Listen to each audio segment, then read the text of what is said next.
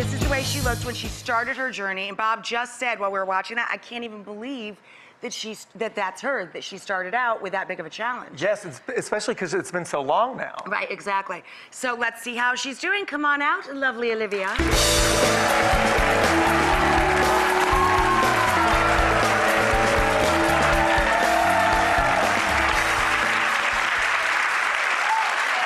Uh, hello.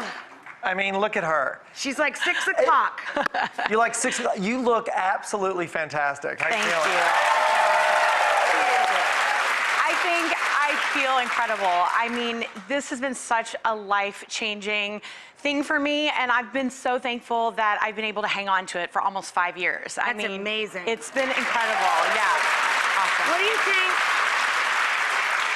I mean, because you went through it and you've come out the other side, and now it's five years later. What were the things that turned it into day-to-day life, obviously, for you? What were your keys to, I think to hanging on? My biggest tip is consistency. Is that what I learned at The Biggest Loser is what I still do today. It had to become a lifestyle for me. It can't just be some fad diet. Believe me, I tried everything, Mm-hmm. everything under the sun before Biggest Loser. I learned how to eat, I learned how to exercise, and I learned how to take care of my insides, and that Because- kept me. Because when you're on the ranch, when you're on the ranch, they lead such a regimented lifestyle. right, right. right. But it's like when it's time for you to go back into reality, I mean, Yeah. you really found your place in reality, which is a very hard thing to do. Right. Yeah, I was terrified. I mean, to be honest, I mean, I, I had seven months with Bob Harper, like right by my side. I had to learn how to live my life without him in my pocket anymore.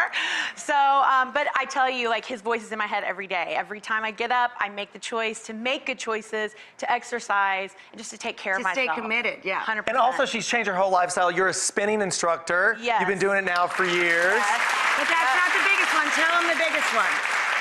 Uh, well, there's a big one. Yes. Yeah. Yeah, should we meet him? It's, the big one is actually a little one. Before you lost all your weight, you had a tough time getting pregnant, right? I did. I did. So guess what happened? Come on out. And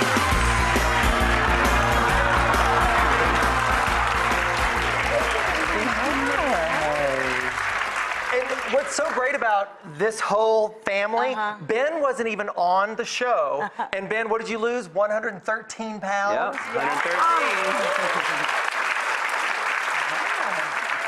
And who's baby? Is that baby Ben? This is actually Baby Harper. Ah. I mean, it. Are you freaked out?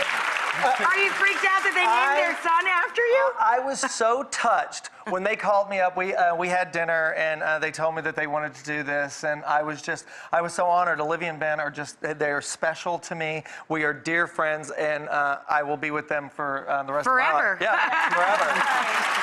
I mean, how cute is that little baby? Hey, I know that you're I know that you're spinning, but do you still sing opera? Your voice is so beautiful. I do a little bit here and there. It's so interesting how life just kind of flips the card upside down sometimes. Right, right. So, fitness, being in the industry and, and paying it forward, encouraging other people, working at Soul Cycle, that's become like my main focus, but singing will always be there. I'm Italian after all. I Yeah, yeah, yeah, you can't try. I mean,